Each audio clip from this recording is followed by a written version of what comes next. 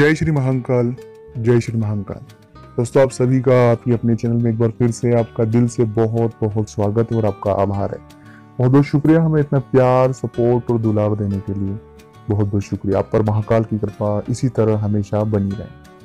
आज हम बात करने वाले हैं कि राजयोगी आप हैं। बहुत यूनिक टॉपिक है, बहुत महत्वपूर्ण टॉपिक है और ये जो टॉपिक है, आज तक कभी भी आपने इस पर चर्चा नहीं सुनी होगी। और आपने अपने बारे में, अपनी राशि के बारे में इस तरह का प्रिडिक्शन भी नहीं सुना होगा और ये जानकारी भी आपने कभी भी नहीं देखी होगी। तो इस जानकारी को आप पूरा समझे और बहुत अच्छे से समझे। अगर आप इसे समझ गए तो आप डेफिनेटली अपने राजयोग को, अपने राजयोग को अपनी कुंडली में आप स्वयं ही, स्वतः ही कुछ कर्मों के द्वारा बना सकते हैं।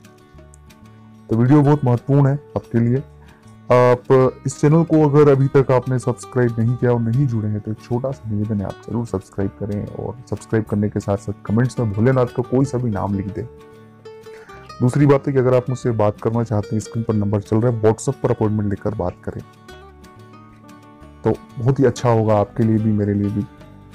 सबसे पहली बात है कि राजयोग के लिए हर एक व्यक्ति का एक पहला प्रश्न होता है। कोई भी कुंडली देखेगा, चाहे उसके पास अपनी जन्म तारीख हो या नहीं भी हो और उसके मन में एक प्रश्न हमेशा उठता है कि क्या मेरी कुंडली में राजयोग है या नहीं है? दूसरा प्रश्न उठता है कि अगर है तो वो कौन सी उम्र में सफल होगा? तीसरी बात है कि अगर है और फलीफूट या तो वो निकल गया है या भी आने वाला है, या उसको हम किस तरह से उसका फ़ायदा ले सकते हैं? ये तीन मेजर प्रश्न होते हैं एक सामान्य व्यक्ति के, मैं भी एक सामान्य व्यक्ति हूँ, मेरे भी यही प्रश्न होंगे, अगर मैं अपनी कुंडली का विश्लेषण कराऊँगा या नहीं भी करूँगा तो मन में रात में सोते वक्त ये प्रश्न कि मेरे अच्छे दिन कब आएँगे, मेरे अच्छा पल कब आएँगे? कुल मिला के राजयोग कब आएगा? इस तरह का प्रश्न होता है दोस्तों। तो मान लीजिए अगर आपको अपनी कुंडली पता है तो बहुत ही अच्छी बात है। अगर नहीं पता है तो भी अच्छी बात है कि जन्म तारीख नहीं पता है, कुछ पता ही नहीं आपको। सिर्फ़ राशि पता है, नाम से आपको।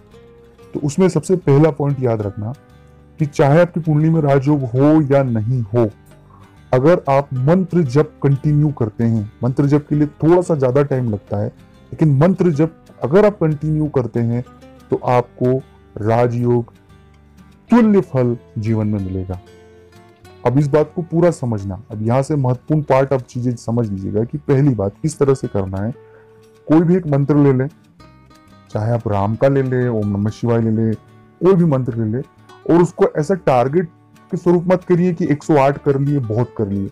उसको अनलिमिटेड अपने खाते, उठते, बैठते, सोते वक्त, जीवन में जब भी एवरी टाइम जब भी आपको वक्त लगे, उस मंत्र को हमें कंटिन्यू जपने की एक आदत डाल देना है। वो राजयोगी आपको बनाएगा।